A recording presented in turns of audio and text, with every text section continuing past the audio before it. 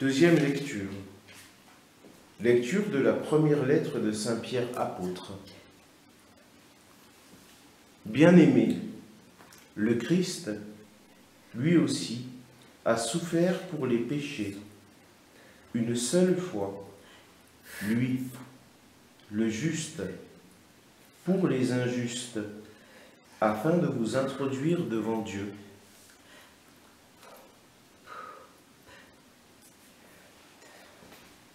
Il a été mis à mort dans la chair, mais vivifié dans l'esprit.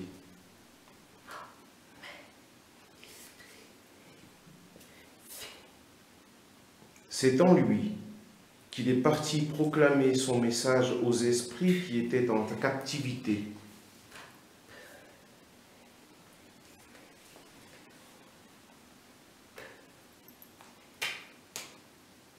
Ceux-ci, jadis, avaient refusé d'obéir au temps où se prolongeait la patience de Dieu, quand Noé construisit l'arche dans laquelle un petit nombre, en tout huit personnes, furent sauvées à travers l'eau.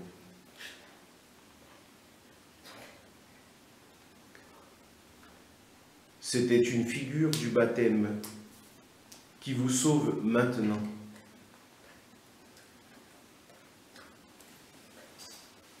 Le baptême ne purifie pas de souillure externe,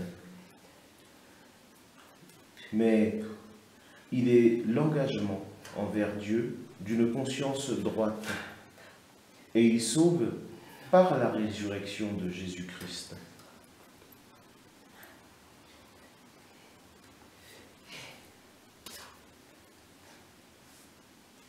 Qui est à la droite de Dieu, après s'en être allé au ciel, lui qui a soumis les anges ainsi que les souverainetés et les puissances.